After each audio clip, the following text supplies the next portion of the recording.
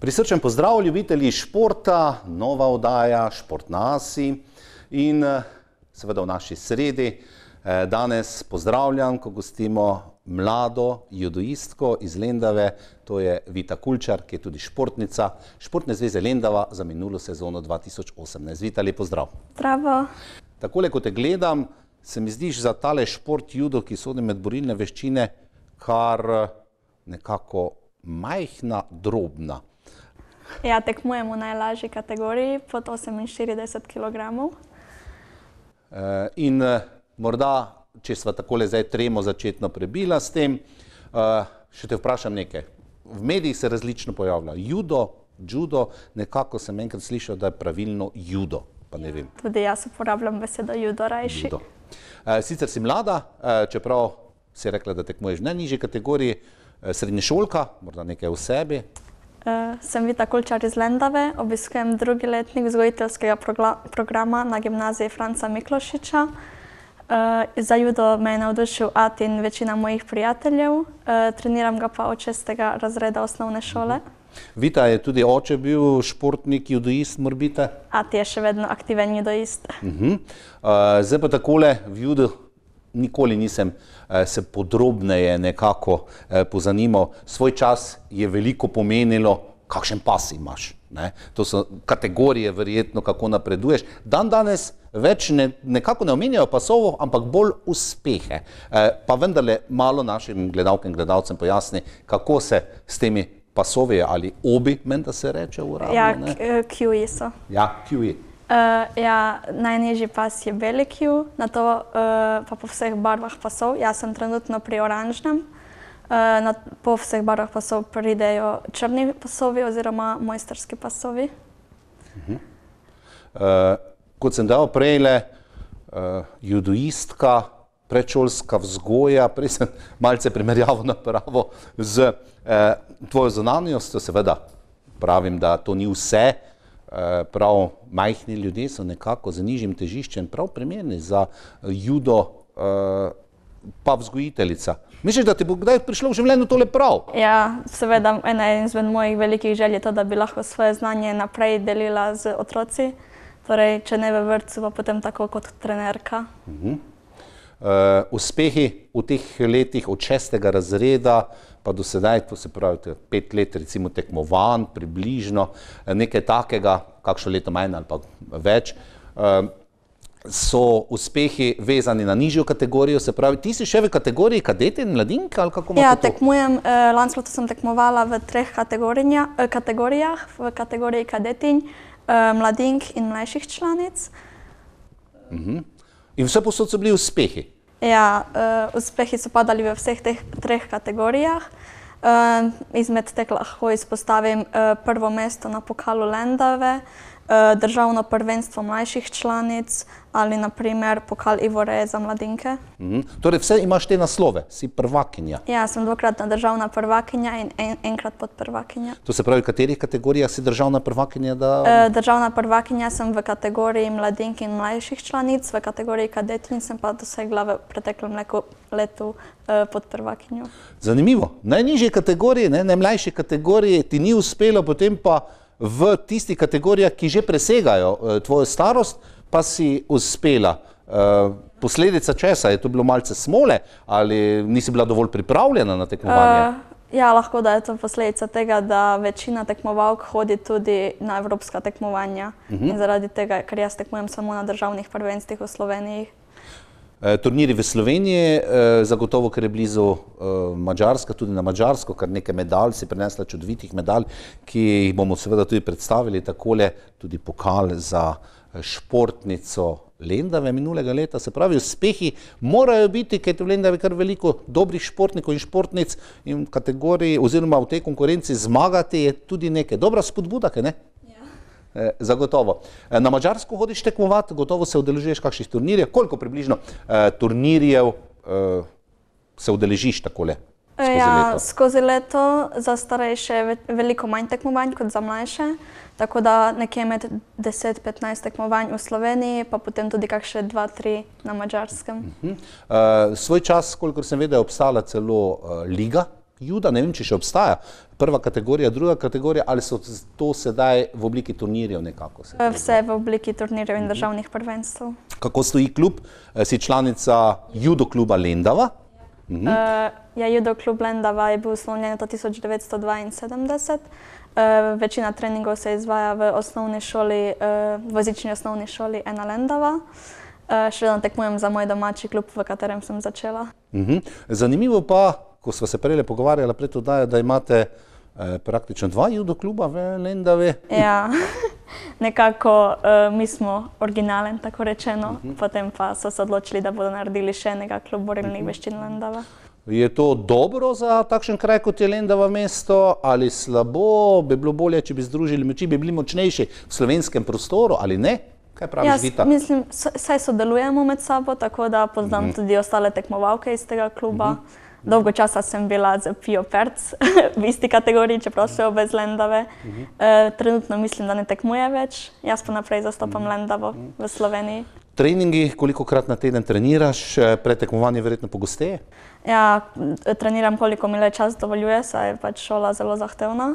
Pa še vozni, vozač si, ne? oziroma Ja, voziš se v vsak dan ne? se vozim Ja. zjutraj. Ja. Tako da treniram vsaj trikrat do štirikrat na teden, Eh, tudi na Mačarsko hodim trenirati z mlajšimi. Mhm. Kdo je tvoj trener? Tudi to je pomembno, zagotovo. Ja, eh, trenirata me Gora Zrecek in Dejan Kulčar. Eh, Pa morda kakšna vzornica, mi imamo izvrstne judoistke, vse to vem, olimpijske prvakinje, tudi pa svetovne prvakinje in tako naprej. Eh, Sicer sezonega konca, bolj tam Savinske doline oziroma Celskega konca, pa vendar, imaš eh, kakšno vzornico? Seveda Tina Trstenjak in Urška Žolnir, obe poznam osebno. Saj smo se srečali na članskem državnem prvenstvu, ki smo ga gostili v Lendavi to leto. Mhm. Eh, Ampak nista, eh, oziroma če še tekmujete, sploh nista v tvoji kategoriji, se mi zdi, Ja, da ste ja. kar malo, malo eh, močnejši za tisto višjo Ja, kategorijo. ja, ne? Žo- Žolnirjeva je že tako rečeno upokojena, Trstenjakova je pa prišla na tekmo. Eh, Vita, reci mi, eh, je huda konkurenca v teh najnižjih kategorijah, Ja, pač eh, odvisno. po težjih kategorijah? Ja, ja, eh, v kategoriji, moji kategoriji se nas tako pojavi ponavadi pet, eh, potem pa seveda, ko pogledamo vse skupaj, pa nas tako vse skupaj pride eno 10, 12. skupaj na, recimo, na enem turnirju, oziroma tek, da tekmujete. V sku, ja, v, na vsakem turnirju se ne pojavimo vse, to je problem, pa prideš, pridejo še vse tekmovalke iz ostalih držav, za katere ne morem vedeti naprej, katera bo prišla. Tako jaz zdaj govorim samo o slovenkah, katere so prišle. Te, ki poznaš najbolje, Ja, tudi ja. seveda. Ne? Ste drugače prijateljice izven tatamija, se reče, menda blazine, Ja. ne? Eh, Poznamo se tako osebno, to je tudi dobra stran kam imam znanke po celi Sloveniji. Eh, Ko spremljate borbe, tudi v drugih kategorijah, posedete kaj skupaj, kakšno rečete, malo poklepetate, ne na zadnje mlade ste večinoma, ne? Ja, ja. Tudi eh, ko katera izmed tekmovalk iz moje kategorije gre naprimer v višjo kategorijo, še vedno se poznamo super. Eh, tudi na GFML hodi par judoistk v prvi letnik, tudi z njimi se družim z veseljem v odmorih, izmenjavamo mnenja, katera je bila na kateri tekmi. Uh, Vita, uh, šport, ki, uh, vse borilni športi, tudi ti vzhodnjaški, kot je judo, ki izhaja vem, iz Japonske ali kje, ne, uh, veliko mora biti v glavi. Uh, to sem slišal svoj čas, ne, uh, koncentracija, miselnost, povezanost, vse to. Verjetno tudi na treningih so posebne vaje, da malce tudi mentalno se pripraviš na trening, na tekmo. Ja, preden stopimo na tatami, moraš imeti v glavi, kateri med boš naredil, kako ga boš izvedel, ni vse v moči. Mhm. To je dogovor brško ne z trenerjem. Ja, večinoma. kot se dala, ni vse v moči, gre za izkoriščanje težišča in slabosti nasprotnika. Menda. Ne? Ni več, eh, tudi če mi ne uspe narediti mojega meta, še vedno obstaja kakšen met, ko lahko naredim kontro, naprimer, da izkoristim tisto, da ona ne potegne mene dovolj. Predvsej je takole za te eh, kimone tudi eh, preprijemanja, ne? to je pomembno, če prideš do dobrega prijema. Ja, ja, jaz izvajam oba garda, in levega in desnega, in to je tudi velika prednost. Prednost nikoli se ne ve. Nekaj je z nogami, vem, da je nekaj dovoljeno, ampak eh, ne vse ne. Ja, ne, ne, smemo se prijemati pod pasom, uh, razen takrat, ko spravimo nasprotnika na blazino. Uh, in potem v partnerni borbi pa se lahko prijemamo kakorkoli, zdaj v starejših kategorijah pa lahko tudi delamo izvode in dovoljenja. uh, ko se potem Ja. oddaje, da se preda. Ja, ja, tako Tudi je. To malo vem. Uh, morda še v tem. Uh, Tekma se prekine, oziroma tekma traja koliko? Štiri Rum? minute. Štiri minute, samo štiri minute. Ne smeš. E, Ja, obstaja pa potem še golden score, če ni nobene točke v teh štirih. Če ni no, to bomo sedaj malce obdelala za naše eh, gledalke in gledalce. Se pravi, štiri minute borba ne smeš. Eh, eh, tudi to kaznujejo sodniki, če se izogibaš in Ja, če, izhajaš. če nisi aktiven, se kaznuje, če stopiš izven borilnega prostora. Tudi, brško ne. ne? Ja. Uh, se pa tekma lahko prej konča z iponom, menda ne. Ali z dvema vazarjema. Ali pa z dvema vazarjema. Kaj je ipon, kaj je vazari, malce povej. Ipon je zmagovalni met, naprimer padec na hrbet, uh, vazari je pa padec na bok oziroma na stran. Uh, vazari se tudi lahko dobi z 10-sekundnim uh, končnim prijemom, ipon pa z 20-sekundnim. Uh -huh. uh, rekli si na hrbet. Hrbet je velik pojem, oziroma telo. Ja, obel, ob, ob, obelo patici A, mora obema patici ja, padeta. No, Če pade- sodnikov je koliko? Eh, tatamijo. ja, en, eden sodnik je na blazini in potem vsaj dva eh, sodnika, ki gledata počasen posnetek na računalniku. Ja. Diagonalo.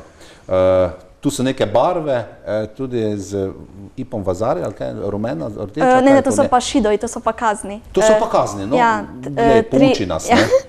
Eh, Trije rumeni kartoni, šidoji, eh, dobiš potem rdeči karton in si končal tekmo. končal tekmo. Ja, Eh, tako kaj še s tistim eh, zlatim, si rekla? Golden zlate? score, Ja? ja. zlato točko. Eh, Zlata točka se pa zgodi takrat, ko v štirih minutah borbe eh, ne pride do nobenega napada oziroma do nobene točke. Uh -huh. In kdo je zmagovalec tam?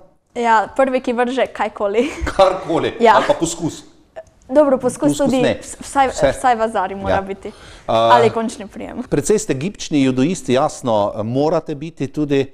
Uh, Vita pove, kako je s poškodbami. Gre za šport, ki je kontakten šport in verjetno uh, tudi pri poškodbah uh, se treba nekako dobro pripraviti. Ne na zadnje, so pa res. Poškodbe so sestavni del športa, tudi vašega, zagotovo. Nekaj sreče, nekaj nesreče, pa se lahko kazve, izmuzne kakšno prvenstvo ali pa kakšna, kakšno dobro Ja, mesto. eh, osnove juda so, eh, padanje je osnova juda, zato na treningih ponavadi ne prije do večjih poškodb, kakšna krvavitev z nosa, to ne obravnavamo kot poškodbo. Tako da na tekmah pa seveda treba pokazati, eh, kaj si se naučil na treningih, kaj veš, kaj je tvoja, kaj je tvoj, eh, kateri je tvoj zmagovalni met. Uh, tako da tam pa tudi treba paziti na sebe, saj nimaš samo eno borbo. Rekla si, da uporabljaš levi, desni prijem, oziroma mete leve in desne, to je prednost. eh, Koliko metov recimo koristiš? Eh, Vem, da je ogromno teh metov, ki se poimenujejo, ampak verjetno vsak izbere nekaj metov, s katerimi poskuša presenetiti nasprotnika. Ja, večinoma uh, čakam nasprotnico, uh, kako bi ona rada primila, toliko sem prijazna. Uh, potem pa ponavadi ali jaz vržem, takoj probam vršiti ipon, ali pa počakam na to, da vidim, ker ne poznam vseh nasprotnic mm. tako uh, dobro. Počakam najprej, uh, kaj, da vidim, kateri gard držijo one, ali levega ali desnega. Na to tako prve minute se lovimo, potem v drugi, tretji minuti pa mora pasti kakšen moj zmagovalni met. Na tem strajaš, ne? Ja. Pravi, tako. Eh, sabo si prenesla, seveda, ker si športnica Lendave, eh, tole, tale lep eh, pokal, čudovit, eh, ličen. Uh, verjetno bo na posebnem mestu v vitrinah, ja. kjer so pokali, medalje, tudi medalje so uh, čudovite. Uh, Vita, v lanski sezoni uh, si rekla dva naslova državnih prvakov in vice naslov zmage na turnirjih ne? in uh, mislim, da zasluženo športnica si imela hudo konkurenco pri razglasitvi eh, najšportnice športne zveze Lendava. Ja, vse tri uh, judoistke iz Judo kluba Lendave smo bile nominirane. Jaz sem bila pr prva, Tamara, uh, pa Melisa, pa druga in tretja. Uh -huh. e, imaš tudi sabo, če malce dvigneš, diplomo, da si položila PTQ, ko se to, to pride komisija, gleda, če si sposobna ja, ali ne. en, enkrat na leto delamo pasove, uh -huh. uh, polagamo jih v veliki polani, to se organizira preko kluba. Uh, pride uh, pač, Iz Judo zveze Slovenije, menda? ja, predsednik izpitne komisije uh -huh. in na to pokažemo pač mete, ki jih je potrebno vedeti za določen pas. Uh -huh. Lansko poletje sem naredila oranžni pas, PTQ. Uh -huh. uh, to poletje bom pa se šla delati oranžno-zelenega. Uh, peti Q, vita, nekaj mi ne gre. Bel, kaj je potem rumen? Uh, bel, belorumen, rumen, rumeno-oranžen, oranžen, A, oranžno tu ste razdelili, ker svoj Ja, ja, čas ja. je bilo bel, rumen, oranžen, Ne, ne, zelen. imamo še- imamo še vmesne Zdaj so še barve. medmes, Ja. da vas še malce bolj, kot to rečemo, eh, preizkusijo oziroma preverijo. Vita, mlada si, zaenkrat, dokler boš obiskovala srednjo šolo, eh, gotovo boš nadaljevala s treningi. Eh, Potem, ko boš študentka, je vprašljivo, ker boš verjetno šla v kakšen večji kraj, če se ne boš zaposlila, seveda, Ja. eh, nadaljevala. Kako dolgo še misliš, imaš eh, velike ambicije, recimo v judo Ja, za naprej? Trenutno želim samo naprej trenirati, koliko mi le čas uh, dopušča zaradi šolskih obveznosti. Mm. Saj sem tutorka, uh, tako da. Mm. Prestopila boš v starejše kategorije, kaj kmalo med mladinke, potem med eh, mlajše članice in člane. Tam je konkurenca brško ne eh, močnejša. Ne? Večja, zelo Ja, ja, večja, večja. saj uh, je potrebno obiskovati za dovolj točk tudi evropska in svetovna prvenstva. Prvenstvo. Računaš na kakšno evropsko prvenstvo, svetovno, Ja, trenutno turnir? še ne, zato ker bi rajši končala uspešno, pa osvojila še kakšen Miklošičev kipec.